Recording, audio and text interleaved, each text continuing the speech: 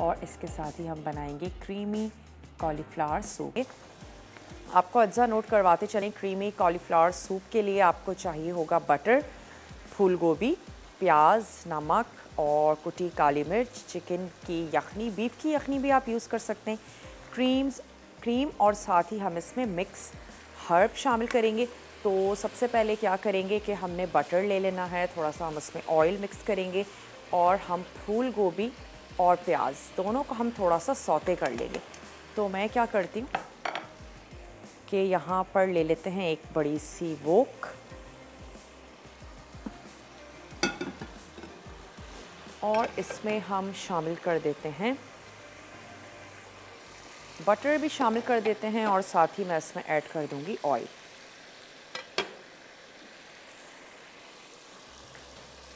दो से चार टेबल स्पून ऑयल और हम इसमें ऐड कर देंगे दो टेबल स्पून बटर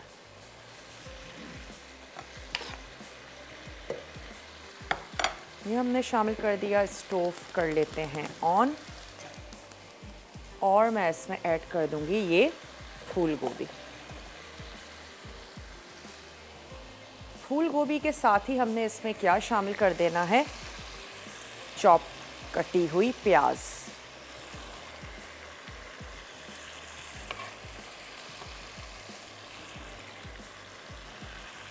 और इसको हमने थोड़ा सा हम टॉस कर लेंगे ताकि इसका फ्लेवर अपने इस फूल गोभी और प्याज को। मक्खन और ऑयल के साथ हम इसको फ्राई कर रहे हैं। फिर मैं क्या करूँगी? इसमें नमक शामिल कर देंगे और हम इसमें ऐड कर देंगे चिकन की यखनी और हमने इसको बॉईल होने देना है। बहुत अच्छी सी सॉफ्ट सी जब हो जाएगी हमारी फूल गोभी तो फिर उसके बाद हम इसमें क्या करेंगे? मिक्स हर्ब शामिल कर देंगे, हसब ज़रूरत हम इसमें ऐड कर देंगे काली मिर्चों का पाउडर और मैं इसको ब्लेंड कर लूँगी ताकि बहुत ही क्रीमी है। अच्छी सी रोस्ट हो गई है यहाँ पर फूल गोभी तो मैं क्या करती हूँ, इसमें नमक ऐड कर देती हूँ और इसको उबलने के लिए रख देते हैं चिकन की यखनी के साथ।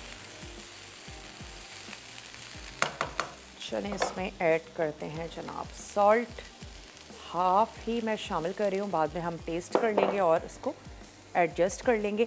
और यहाँ पर मेरे पास है यखनी। ये मैं इसमें ऐड कर देती हूँ। ब्रिक का भी मेरे पास टाइम है तो ब्रिक पर चले जाते हैं। जैसे फूल गोभी गल जाएगी तो फिर हम फर्दर इसका काम करेंगे। आप जल्दी से जाइए, छोटा सा ब्रेक है, लेकर आइए। मिलते हैं ब्रेक के बाद। हेल्थ के लिए भी बहुत ज़्यादा अच्छा है आपके मैदे के लिए, हमें खाना हज़म करने में हेल्प करता है। तो उसके साथ हम इसको गाढ़ा कर लेंगे। कॉर्नफ्लोर भी आप इसमें यूज़ कर सकते हैं। गरम मसाला जाए, इसमें मैं शामिल कर देती हूँ काली मिर्चों का पाउडर और साथ ही ऐड कर देते हैं मिक्स हर्ब्स, जो आपको अच्छी लगती हैं, वो आप शामिल कर दीजिए। मैं तमाम मिक्स हर्ब्स इसमें ऐड करने जा रही हूँ। एक ही टी स्पून और फूल गोभी बहुत ज़्यादा वक्त तो नहीं लेती है बहुत जल्दी से गल जाएगी।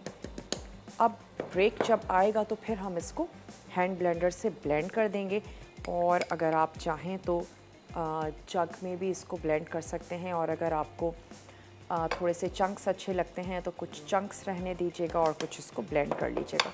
लाल आ, काली मिर्च हमने इसमें शामिल कर दी साथ ही हमने ऐड कर दी इसमें मिक्स हर्ब्स ऐड कर दी हैं। नमक हम इसमें शामिल कर चुके थे। अगर आपने यखनी किसी किस्म के कोई क्यूब से या पाउडर से तैयार की है तो वो भी सॉल्टी होगी। उसका भी आपने ध्यान रखना है कि आपका सॉल्ट जो है वो बहुत ज़्यादा तेज़ गोभी को देख लेते हैं कि कहीं आ, पानी बहुत ज़्यादा इसका ड्राई तो नहीं हो गया। काली मिर्च हमने इसमें शामिल की थी नमक मिक्स। हर्ब हमने इसमें ऐड की थी और साथ ही हमने शामिल कर दी थी चिकन की यखनी। आप इसमें बीफ की यखनी भी शामिल कर सकते हैं। निहारी की आँच मैंने बिल्कुल स्लो कर दी है। थोड़ा थोड़ा सा हम इसको हल्की आँच पे पकने देते हैं पाँच से दस मिनट के लिए।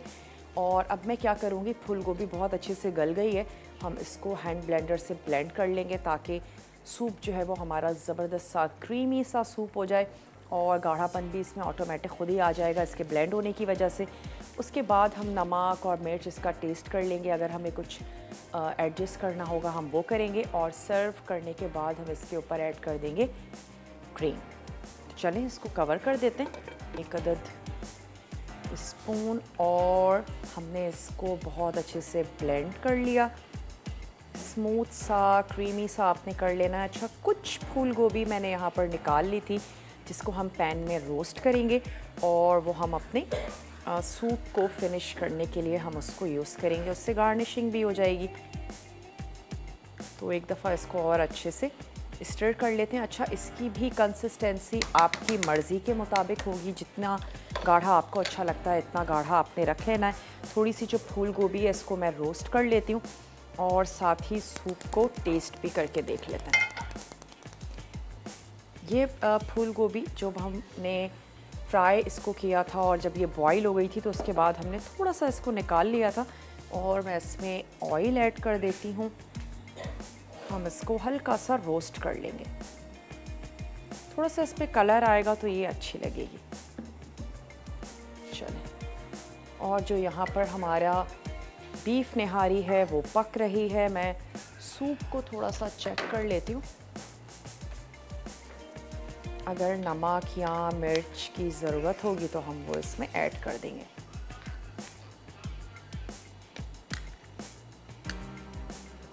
नॉर्मली जब भी हम जो भी वेट वॉचर्स हैं, उनकी कोशिश होती है किसी किस्म का कोई आर्टिफिशियल गाढ़ापन ना हो सूप में और कॉर्नफ्लोर वगैरह ना ऐड किया जाए तो फिर ये सूप बहुत ही ज़्यादा बेस्ट है, क्योंकि हमने फूल गोभी की मदद से ही इसको गाढ़ा भी कर लिया है, बड़ा क्रीमी सा भी हो गया है। क्रीम भी आपकी पसंद है, अगर ऐड करना चाहते हैं ओमिट करना चाहते हैं ओमिट भी कर सकते हैं।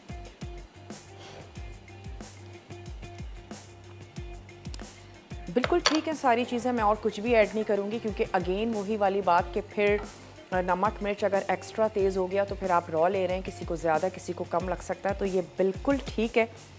मैं इसको इसी पर ही सर्व कर दूँगी। गर्म होना ये शुरू हो गया है। थोड़ी सी इसकी फूल गोभी को रेडी कर लेते हैं। और ख़ूबसूरत से आप बोल ले लीजिए, जिसमें आपको अच्छा लगता है अपने सूप को सर्व करना। उसके बाद हम क्या करेंगे? एक्स्ट्रा इसके ऊपर क्रीम ऐड कर देंगे। काली मिर्च भी मैंने बिल्कुल लेवल में एक टीस्पून इसमें शामिल की थी और की बिल्कुल ज़रूरत नहीं है। यहाँ पर थोड़ा सा फूल गोभी को फ्राई कर रहे हैं गार्निशिंग नली की दो तीन हड्डियाँ ऐड कर सकते हैं। अगर आपको ग्रेवी बहुत ज़्यादा अच्छी लगती है, उसके बाद आप ग्रेवी को ज़्यादा कर लीजिए। एक्स्ट्रा हड्डियाँ या एक्स्ट्रा जो है वो यखनी इसमें शामिल की जा सकती है। इसको और ज़्यादा फ्लेवरफुल बनाने के लिए बीफ की जो यखनी होती है या हड्डी गुड्डी घर में तैयार की जाती है। मैं इस सूप की आँच को बंद कर रही हूँ, क्योंकि मैं नहीं चाहती कि ये और ज़्यादा रिड्यूस हो जाए, खुश्क हो। मैंने इसमें एक लीटर यखनी तो ऐड की थी। उसके बाद हमने इसमें तकरीबन दो कप के करीब पानी और शामिल किया था, जब हमने इसको ब्लेंड कर लिया था। थोड़ा सा इसको और गोल्डन कर लेते हैं तो फिर हम इसको निकाल के थोड़ा सा एंड टाइम पे सर्व करते हैं। गर्मा गर्म सूप होना चाहिए। अगर आप जब भी कभी घर में सूप कर सूप सर्व करने जा रहे हैं तो मेक श्योर sure कि वो पाइपिंग हॉट हो, बहुत ही ज़बरदस्त सा हो, गर्मा गर्म हो, सूप सर्व करने का यही तरीका भी है। तो चलें अच्छा सा ज़बरदस्त सा ये बॉईल हो रहा है तो मैं इसको अब सर्व कर देती हूँ हमारे।